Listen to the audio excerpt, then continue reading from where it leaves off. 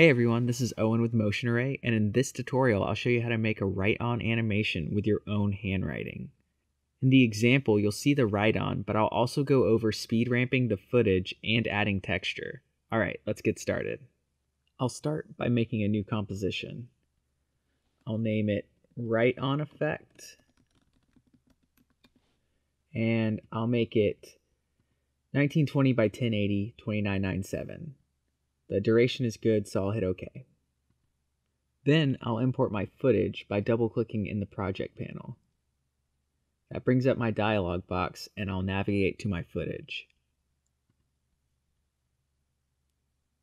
I'll import it as footage and hit open.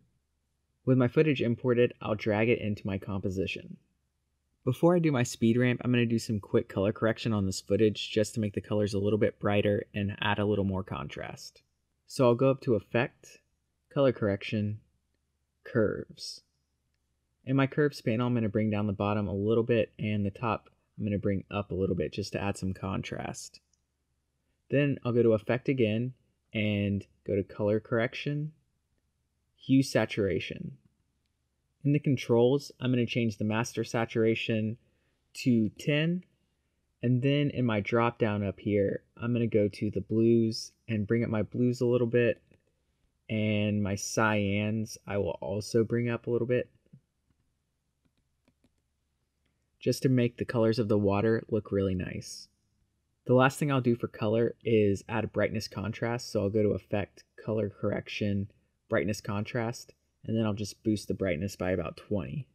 All right, that looks good. So I'm going to highlight all these effects and then just twirl them down to clean up my effects panel. Now I'll apply the speed ramp by going to Effect, Time, Time Warp.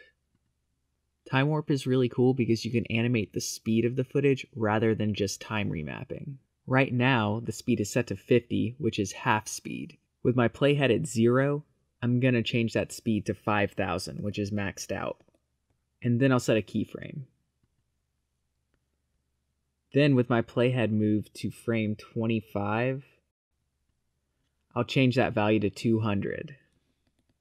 I'll pull up my keyframes with U on the keyboard.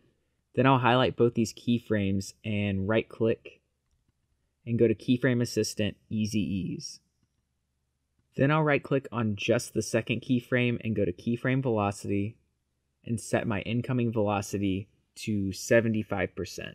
Then I'll right click on my first keyframe, go to keyframe velocity, and then change the outgoing percentage to 90. I'll bring my work area into about one and a half seconds by hitting N on the keyboard, and then I'll RAM preview.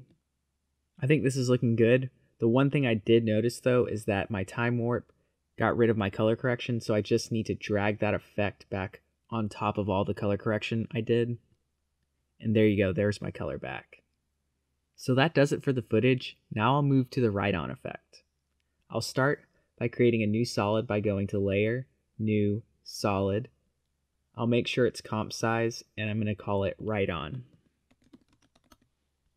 Then I'll hit OK.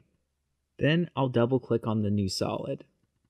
This opens it up in the layer panel and this is what I need to do for the write on effect.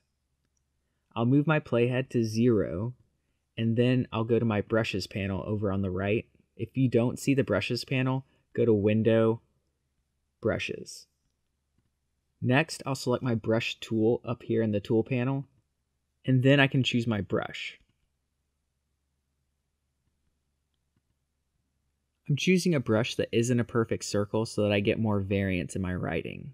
I'll leave my diameter angle, and roundness all at 45, but I'm going to bring my hardness up to 100. I'm also going to decrease my spacing to 15%. Under brush dynamics, I'm going to turn size from pen pressure to off. Next, I'll locate my paint panel. If you don't see the paint panel, you can find it under window, paint. In my paint panel is where I'll get to choose the color. I'm pretty happy with this color, so I'll leave it as is. I'll leave my opacity and flow at 100%, my mode at normal, and my channel at RGBA. By default, duration is set to constant, but I want it to be on write-on. Write-On will record my strokes and automatically keyframe them based on how long it takes me to draw them. So now all that's left to do is use my brush to write on the text. Using a tablet for this step makes it way easier as it's a little bit more natural for writing.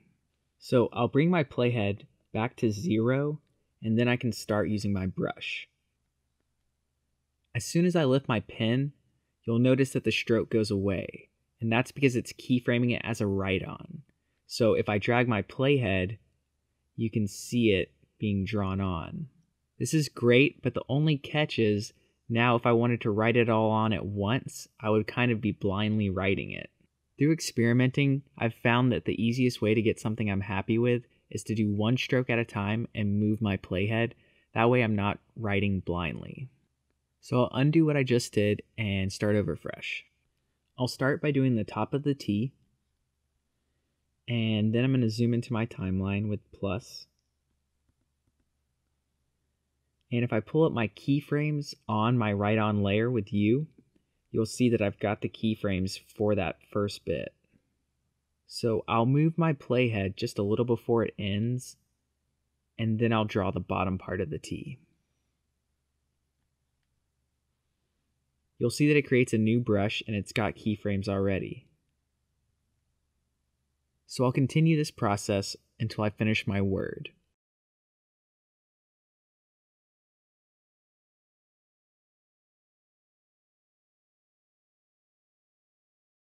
Okay, so I've got my whole word written out now, and I'm happy with the way it looks. I'll switch back to my composition view and I'll check the box for paint on transparent. In my timeline, I'll zoom out a little bit and bring my work area over to where my keyframes stop, which is at about six seconds for me. I can already tell that this is going to take way too long to write on, so I'm going to adjust these keyframes. I'll pull up all the keyframes for the write on with U and then I'll make my timeline full screen with the tilde key while my mouse is hovering over it. That way I can see all my keyframes a lot easier than having to scroll. I'll highlight all my keyframes except for the last brush because the last brush is a line and I'm going to do that separately. Then holding the option key, I'll click and drag the last keyframe and bring it towards the beginning of the timeline. And that scales all of my keyframes together. And I'll shoot to make this about two seconds. Now I need to drag the handles of each brushstroke so that they're visible when their keyframes start. I'll hit tilde again to exit full screen with my timeline. Then I'll drag my work area in and do a RAM preview. I could afford to overlap some of these keyframes to make the write-on more fluid, but I'm not going to worry about it for right now. Now what I'll focus on is the line animation. I can click and drag the brushstroke with my cursor so that it's closer to the rest of the animation. I'll also drag out the second keyframe to make the animation a little bit longer, and then I'll apply an easy ease to it. I'll right click that second keyframe and go to keyframe velocity, and set that incoming velocity to 90%. That looks good, I just need to adjust the position of the title to be in the center of the screen. Using the selection tool, I'll drag my layer till it's in the center. Then I'll twirl my layer up to clean up my timeline and switch its blending mode to overlay. With overlay, it'll have some transparency and blend with the footage really nicely. As nice as it is, it's a little difficult to read, so I'll duplicate my layer with Command D just to make it easier to see. The last thing I'll do is add a texture. In my project panel, I'll double click to bring up my import dialog and I'll select my footage. With the footage imported, I'll click and drag it into my timeline. I'll then set the blending mode to multiply. This clip has audio, so I'll turn that off. Right now, the texture is a little muddy, so I'll fix that with some color correction. I'll go to Effect, Color Correction, Levels. Then I'll bring in my white just to about the peak, and I'll bring the black in quite a bit, and I'll bring the mids closer to the black. I think that looks pretty good. Well, that concludes this tutorial. I hope you guys found it helpful. If you did, please give us a thumbs up, and if you'd like to see more tutorials, please go ahead and subscribe because we're making new ones all the time. Thanks for watching, and see you in the next video.